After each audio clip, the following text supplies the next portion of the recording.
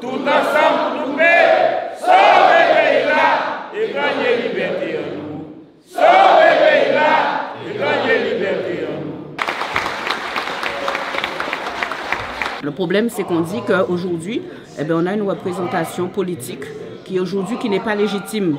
Parce que pour qu'elle soit légitime, il faut qu'elle puisse répondre aux revendications euh, des travailleurs et du peuple. Et ce n'est pas la situation. Tant qu'on n'a pas un engagement ferme d'une rencontre urgente, eh bien, on reste là. S'il le faut, on passera Noël ici, mais on restera là. Euh, nous ne sommes pas contre le vaccin, mais nous nous battons contre cette injustice euh, de la suspension et des sanctions contre les soignants obligés de se faire vacciner. Et donc c'est dans ce cadre-là qu'aujourd'hui, ben, depuis, depuis, plusieurs mois, les mobilisations se poursuivent. Il y a eu euh, aussi des barrages et tout. Aujourd'hui, il y a la mobilisation à la région.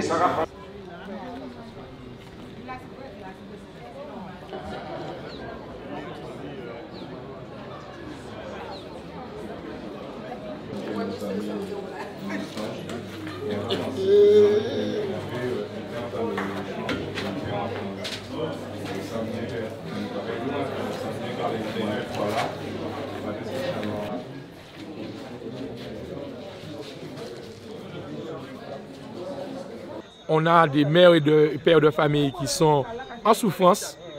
On ne peut pas penser à aller fêter Noël en laissant ses pères et mères de famille seuls, sans revenus.